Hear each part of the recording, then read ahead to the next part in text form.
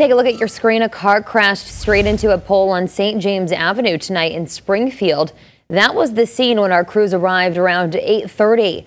The fire department tells Western Mass News that thankfully the driver did not suffer any injuries. No power outages resulted from that crash and Eversource is dealing with the split pole.